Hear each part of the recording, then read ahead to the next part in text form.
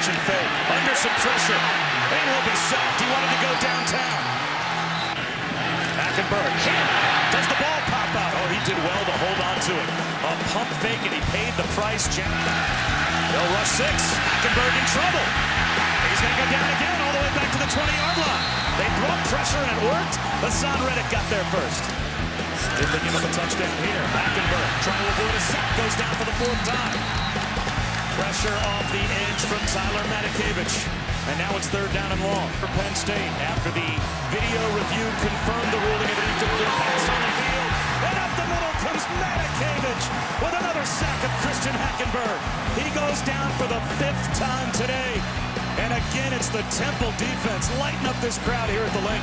Three-man rush. A two-man rush. And Hackenberg still is pursued and sacked.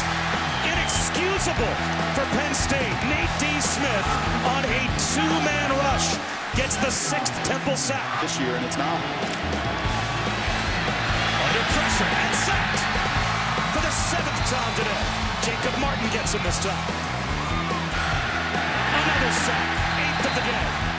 And only a four-man rush. They simply can't protect Christian Hackenberg as Matt Ioannidis brings him down.